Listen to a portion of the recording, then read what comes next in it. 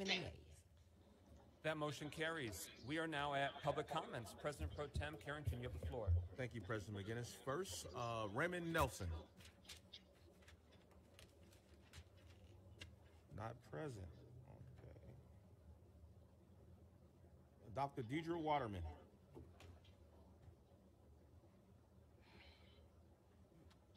Since I was here, I stayed for public comment, and I'm glad I stayed. There were so many uh, things that happened at this council meeting. First, I want to say I'm so proud of Pontiac's young people. That was a display of our next generation today, and it was just very heartwarming to see the next generation is coming through the city of Pontiac. That was wonderful to see. Also, I see you honored somebody that I know very well, uh, Eloise uh, Simpson, who uh, was an attorney here in the city of Pontiac. And she, like many of the young, uh, particularly African American attorneys who came through Pontiac, was mentored through the law firm of Hatchett, Brown, Waterman, Campbell, a law firm that my husband was a senior partner before he was appointed judge. So I know very well the young attorneys who were mentored and came uh, through the county courts, uh, through uh, the law firm. But also, I want to finish the comments I started on the Phoenix Center because that is an important legacy project, and that was never doing for the city. And I know that it was a very complicated deal.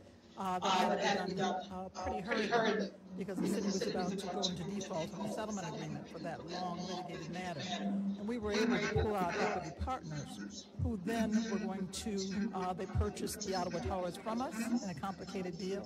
And then uh, we sold that back to them on the uh, uh, arrangement that they would do all the repairs. And I know many people were anxious now to see how we get that Phoenix Center back in operation, begin to use the amphitheater again and to have the festivals and fairs that people admire. But most, most importantly, that's what was important to make a deal in which we got the right uh, things coming back to the city of Pontiac. So I wasn't told until afterward, some months afterward, that that deal had gone wrong uh, and went at the closing. And so that was very important for us to get. Uh, and I hired the attorney firm, uh, Elizabeth Rogers of Jaffe, who uh, is very happy to come and talk to you uh, and give more details of how we were able to bring that deal back. So it's a win for the city of Pontiac and not to lose properties to the equity partners that were not meant to be conveyed to them, including the garage. I was horrified when I found that out. So I went and got the attorney to come and help us get that back. Also, what I wanted to mention too, and I'm so glad that Amazon was here today because uh, that was a very proud thing for Pontiac to be able to bring Amazon to the city of Pontiac. Remember, they had turned down Oakland County and the Detroit metro area for the HQ2 headquarters. So we were able to do the deal, and I remember when they came to us, and I had to sign an NDA. I got all our city uh, department heads, and they said, we're thinking about coming to Pontiac, and uh, these are certain things that we want.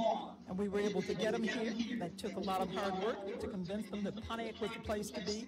This is the first city where they ever had a distribution center and a fulfillment center on the same site, anywhere in the United States. We're proud to have you here and proud for the partnership that you're bringing to the city of Pontiac with jobs. That concludes your time.